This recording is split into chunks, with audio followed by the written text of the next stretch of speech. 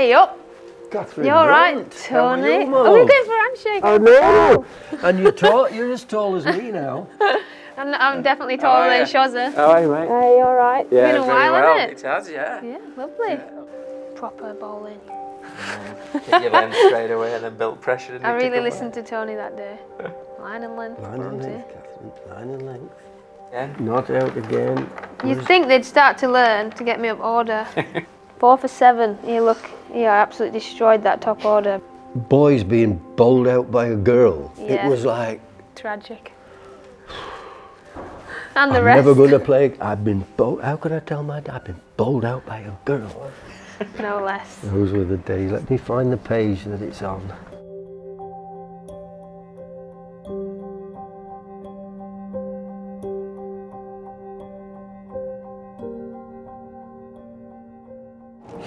Quite easily have been anything growing up.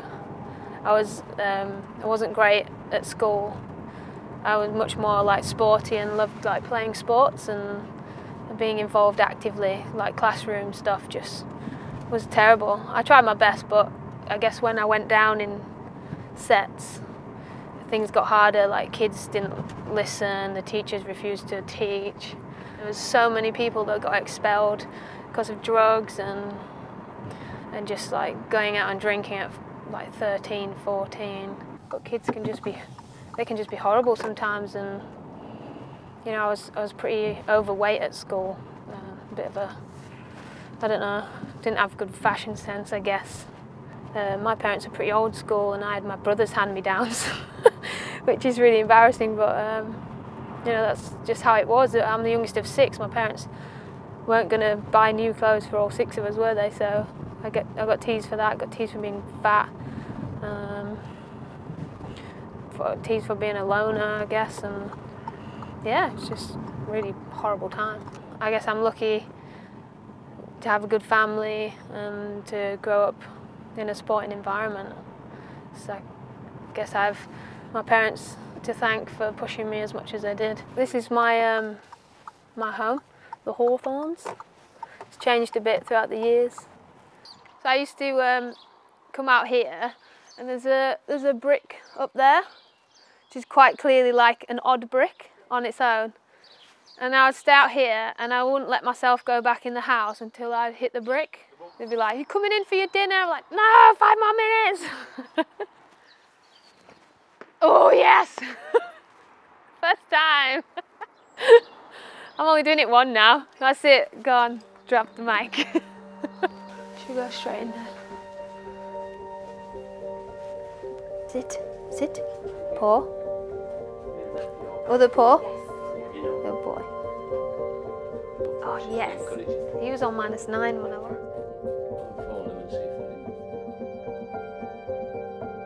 Oh. My two nieces. They're both two years old now, but they play with my old toys. Like I said, we're a pretty frugal family. Everything's passed down, hence the teddy bear. We had um, a best friend from junior school going to senior school, and um, like kids do, they don't really know about emotions and how they hurt people. And she, like, just stopped being my best friend one day, and then I was like, crikey, who do I have around me? I didn't have anyone. It just turned me into a, I already was, but turned me into a massive introvert and a bit of an oddball. And just went into a bad path. I was, you know, I would drink and they wouldn't know I would drink. Um, and yeah, I was going down a pretty bad path to be honest, and I put on a lot of weight as a, between the ages of 11 and 15. I was pretty big. I was about 14 and a half stone. But it certainly had an impact on my career, and my future.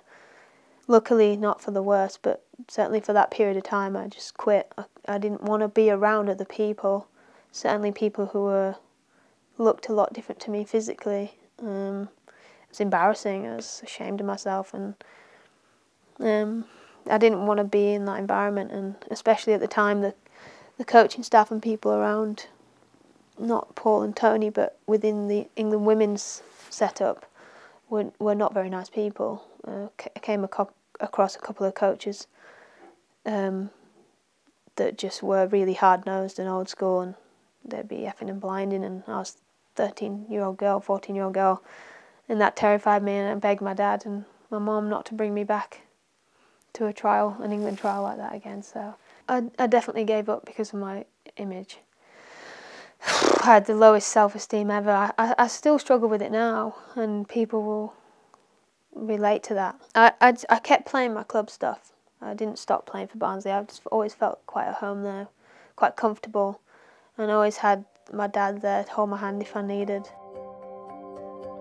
You just got to remember you're not actually on your own, and it will, it does end, and it makes you become a better person. The day that I got willpower, um, when willpower came into my life, um, I was just basically uh, upstairs and I looked in the mirror one day and I was just like, I don't want to be that anymore. Started doing the jogging with my dad. So he's a runner. What do I do? I'll go running with my dad to get fit. Um, so he would take me on runs and I'd make little checkpoints and go as far as I possibly could each time. And yeah, it went on for three months and there was two stone lighter and feeling way better about myself. Like like I belonged again within society. We'd go, we'd set off down here, um, and he wouldn't tell me how far we were going because obviously he didn't want to defeat me mentally before I've even started. but he said, "We'll we'll run to the ducks and back as a starter." But I didn't know where the ducks were, but we'd head up this hill and I'd get to like this lamppost here, 100 yards away, and I'd be absolutely blowing. And now thinking of that, that's shocking. That's so unfit, but it's all I could manage at the time, and had to run back from that lamppost. And then the next time, I'd run to this house on the left. I'd run to that house and back. Um, and then the next time, the next week, I'd run to this little farm on the left and back. Until eventually, you know, I, I did get, I did make it to the ducks, and I was well chuffed with myself that I made it to the ducks and back with my dad, because obviously me knowing how fit he is, um, I thought that this was a really long way. And I was really chuffed with myself this little pond with the little ducks in on the right, um, just there and back. And as you can see we've gone about 100 metres. I came across Paul Shaw between 16 and 18 and I'd literally just come near the end of my journey of losing the weight and my focus wasn't centred around that anymore. It was just about going out then and figuring things out, like being an older teen, the stuff you go through at that age, um, and and being at college, and then what do I want to do with my life? And here comes Paul Shaw, the philosopher. He literally is. Um, he's all about you know the mental side of it and who you are as a person and shaping the better you. Oh yeah, 2010. Mm. That was eight years ago. Yeah, I know. Time fly when you're having fun. Good old days.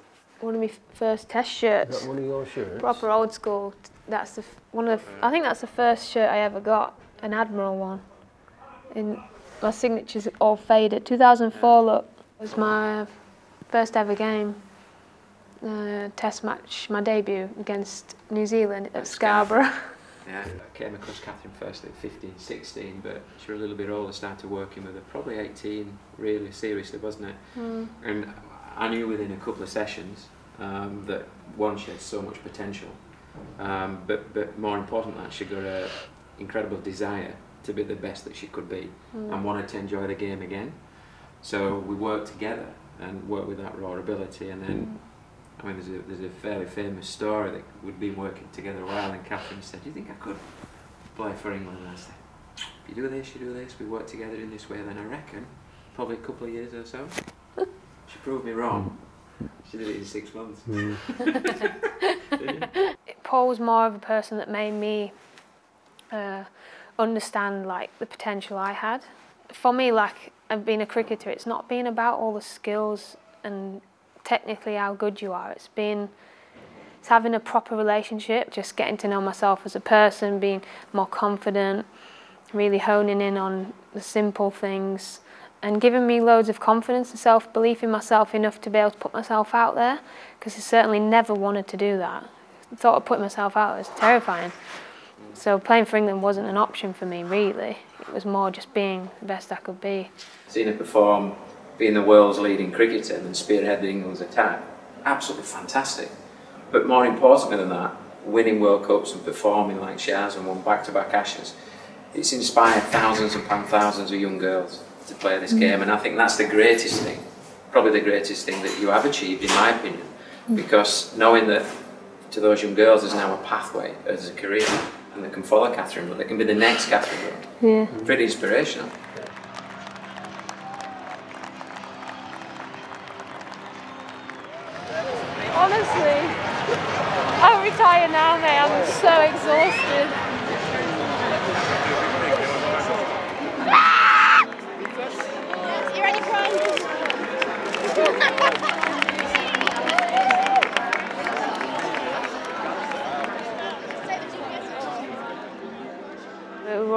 The pitch and everybody was piling on Anya and I was on my way to her like going crazy. And then just before I got there to do the pylon I just stopped. And I just dropped to the floor and like it was just all these emotions just hit me at once and I just couldn't move.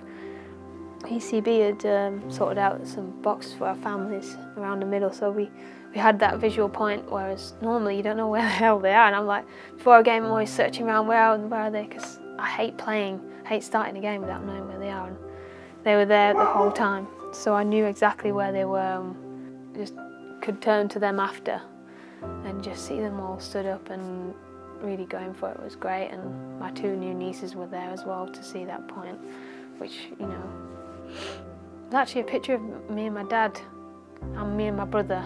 So, like I said, my dad um, pushed me to be probably playing for England. My brother taught me everything I knew. There's a picture of um, me with each of them and just outside the long room, cuddling when they finally came down. And they're really, really emotional pictures actually. You do get to see just how proud at times you make your family when you when they're there and they're sharing those moments with you.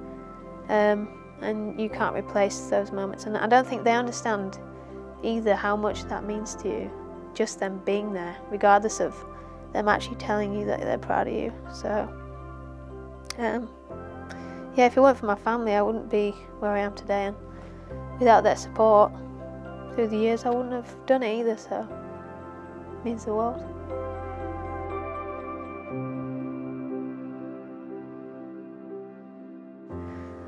This is not okay. Can we stop talking now?